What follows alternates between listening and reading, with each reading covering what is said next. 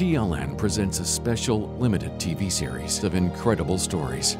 They're not afraid about old age because they're going to live with their families. Traditions. They know how to live. Sacrifice. She was forbidden to speak any Sicilian. Ambition. Gain citizenship quickly. Heartbreak. It really made you feel very much conflict with who I was. And achievement. That was part of the Italian American experience. Italians in North America, Sundays, starting January 7th at 8 p.m. on TLN.